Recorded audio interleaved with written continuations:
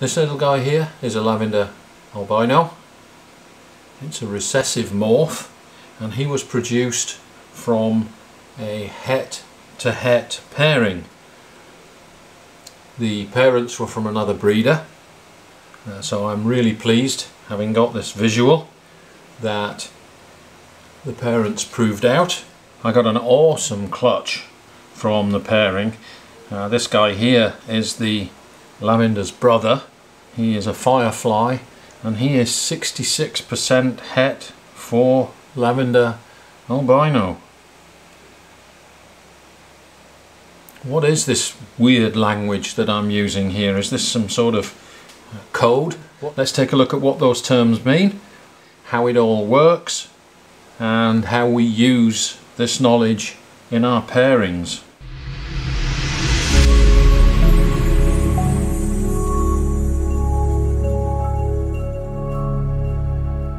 Hi guys, it's Rob from Royal Balls. Some of the terminology that we use when we're looking at recessive projects and in particular uh, the terminology revolving around hets can be confusing so this video is going to clear that up. We're going to explain everything about hets.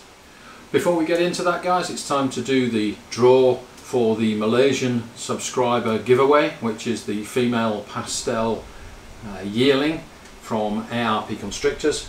I don't have very many names, uh, seems like our Malaysian subscribers are a little bit shy. I know you're out there. Uh, so I have six names. Those are the names on there. So let's do the draw with those six names. Okay, we're going to use the random number generator. Change the maximum number to six and let's generate the number. And the winner is which is Zai Edu on my list here. So uh, Zai if you want to contact me uh, get in touch with me and we'll arrange for you to get that snake from ARP Constrictors. Commiserations to all those that lost. There'll be other opportunities in the future. So first we're going to need to get some basic concepts out of the way. Okay, let's get some basic principles out of the way first. Uh, every single snake contains a DNA strand which is a double helix and in sexual reproduction uh, this is daddy snake and this is mummy snake we split the helix in half half of the genetic material from the male is combined with half from the female and we recombine that in the offspring. So the offspring are half of what dad is and half of what mum is. When we're dealing with recessive genes, such as lavender, this will also work for any other recessive gene like clown, pied, axanthic, there is a genetic modifier which changes the visual appearance of the snake and on the genetic code of the snake the gene bolts on to a specific location because we have a double helix. Every single location on that genetic code has two alleles or two separate locations so there is room for two genetic modifiers and in a recessive morph such as a lavender uh, we need two copies of the gene one on each side of the double helix in order to get the visual expression. And this is the homozygous form of the gene. A gene on each side homo means the same and we have the same gene on each side. What do we mean by heterozygous or het? Well het means different. So in the case of a het we only have one copy of the gene and the other side of the location is blank. There is no gene there. Now we know what hets are. How do we make them? Why are they needed? What do we use them for? So this would be het for lavender in this particular case only one copy of the gene and the snake would look like a normal. Uh, there is no visual expression when the snake carries one copy of the gene which means we don't know that it's a het unless we actually breed it. So how do we get a het? Let's take our male visual lavender and a female normal. Take our Punnett square. And because there are only two halves to the male's genetic material and two halves to the female's genetic material. There are only four possible outcomes. So we take this half of the male's genetic material and recombine it with this half of the female and we get one copy of lavender or we pair it to this half of the female and get one copy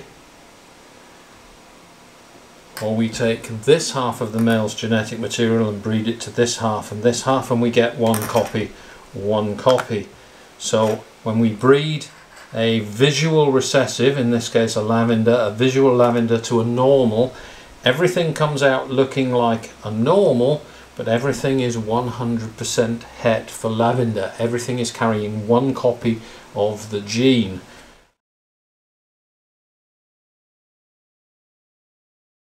So why would we ever want to use hets if we're not going to get visuals? Well, if I take a lavender and breed it to a lavender, I'm just going to get a lavender. Uh, what if I want a blackhead lavender? how do I get a blackhead lavender? Well, it's a very common morph these days and you could actually buy one, uh, but the objective here is to make one and certainly the first one that was ever made um, needed to go through this process. So in order to get blackhead into our lavender combination, we are going to have to breed a visual lavender to a blackhead and what happens in this particular case. The blackhead is a co-dominant gene so has a visual expression with only one copy of the gene whereas the lavender is a recessive and requires two copies. So the male is a visual lavender, the female is a blackhead so we pair this half of the male's genetic material to this half of the female and we get one copy. So this is a normal looking snake that is het for lavender or we breed this half of the male to this half of the female and this time we get one copy of blackhead one copy of lavender so this baby here is a visual blackhead which is het for lavender. Take the other half of the male genetic material and breed it to this half of the female. And again we get one copy of lavender. So this is a visual normal het for lavender. We'll breed it to this half of the female. And we get one copy of blackhead and one copy of lavender. So this is a visual blackhead het for lavender. So we get two blackhead het lavenders and two normal het lavenders from this pairing. So we're going to select our Blackhead Het Lavender.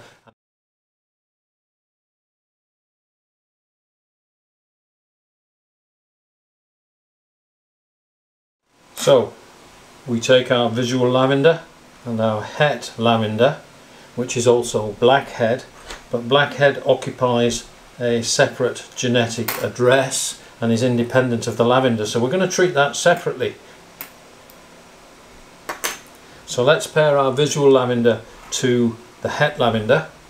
So this to this gives us one copy. This to this gives us two copies. This to this gives us one copy. And this to this gives us two copies. So in this pairing of a visual to a het, we are going to get two visuals and two hets. And we're going to pair our non-black head to the black head.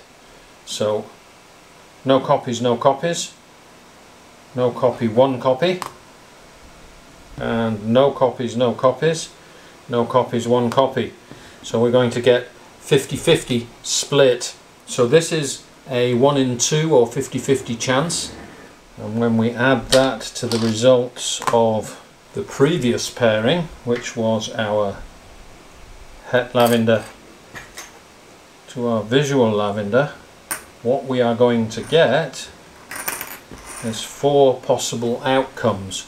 So for every four babies we will get one visual normal het for lavender. We will get one visual blackhead het for lavender. We will get one visual lavender and we will get one visual blackhead lavender. So there is a 1 in 4 chance of getting a blackhead lavender from this pairing. That is why we need to use hets because it's the only way to get a new gene, in this case blackhead, into our recessive combo. Just breeding a lavender to a lavender will give us lavenders. We need to make the hets first, a blackhead, het lavender, and then pair it back to a lavender in order to have a 1 in 4 chance of getting a blackhead lavender. So that's the reason that hets are important. That's the reason that we use hets. And a world of confusion. POS hets. Now we get into the realms of not just genetics but probabilities. Let's have a look and see what 66% POS het and 50% POS het actually means.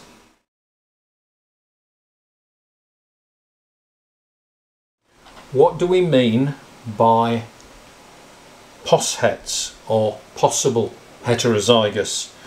Again, we're going to use our example of lavender and we're going to breed a het lavender to a het lavender.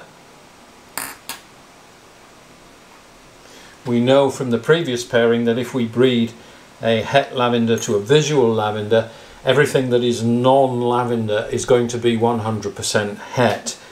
But sometimes we, we want to pair a het to a het because this guy here may be carrying a different set of genes to this guy here and we want to combine them in one shot. For instance, uh, this could be leopard, this could be blackhead, so we could have a leopard het lavender to a blackhead het lavender and we want to try to make leopard blackhead lavenders. And that's the reason why you would pair het to het. But let's see what happens when you do pair het to het. So again we split the genetic material in half. So we take this half of the male and pair to this half of the female and we get one copy. We pair this half to this half and we get two copies. Or we take this half of the male and pair to this half of the female and get no copies. Or we pair this half of the male to this half of the female and we get one copy.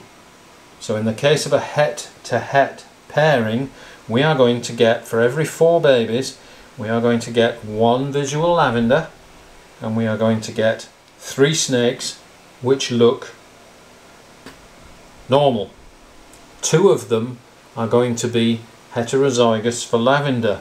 It's just that we don't know which ones. So let's remove this from the equation. We're left with three snakes and this is now probabilities not genetics. We're left with three snakes and you can go eeny, meeny, miny, mo. I'm picking this one. You have a 66% chance of picking a het now, a snake can either be het or not het.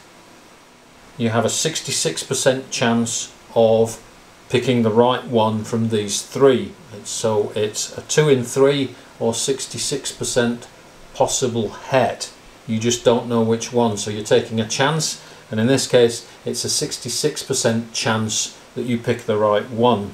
If we pair a het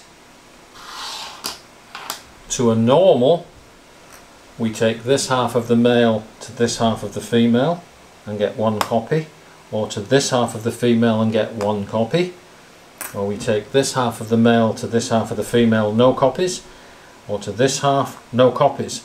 So in the case of a het to normal pairing, we're going to get four snakes that look like normals, two of which statistically are going to be het for lavender. So two out of four is now a 50% chance that you pick the right snake when you pick the babies. Eeny, meeny, miny, mo, pick this one. There is a 50-50 chance that you pick a het there is a 50-50 chance that you do not. You don't know from the visual appearance of the snake.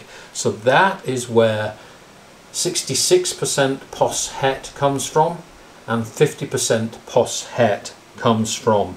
So in a het to het pairing, everything that is non-visual for that recessive will be 66% pos het and in a het to normal pairing you will get no visual recessives and all the babies are 50% possible het for that recessive gene.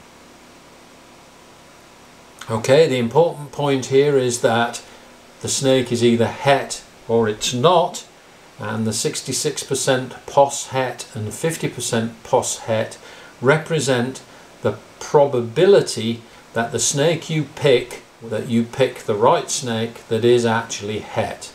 The only way you will know is to breed it to something else which also contains at least one copy of that visual recessive gene and see whether you get any visual recessives. That's the only way to prove that you are actually looking at a het, although a het may carry some slight visual expression once you get your eye in. So that's it. Very, very simple. Very, very straightforward. The snake is either het or it's not and we're playing probabilities.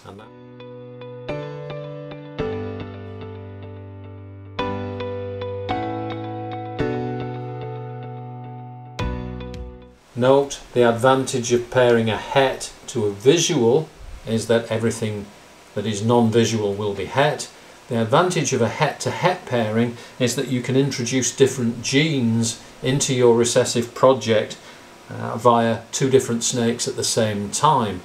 The downside of that is, is that all the non-visual recessives in the clutch are going to be 66% possible hets and not 100% het. Okay guys, there you go. It is important to understand what you have in your hands when you're holding a het and you want to breed it. It's also very important to understand the probabilities around pos hets. An animal is either carrying the gene or it's not carrying the gene. It's either het or it's not. The outcome of a pairing using a pos het will be very very different depending upon whether the animal does or does not contain the gene. So that's it guys, I hope that helps. Calculating probabilities around any particular het pairing is beyond the scope of this video. There are videos also in my uh, video collection that deal with genetics in more detail. If you're interested you can search those out and that explains how hets work in a uh, breeding program. So thanks for watching. Don't forget to share, like and subscribe and we'll see you next time.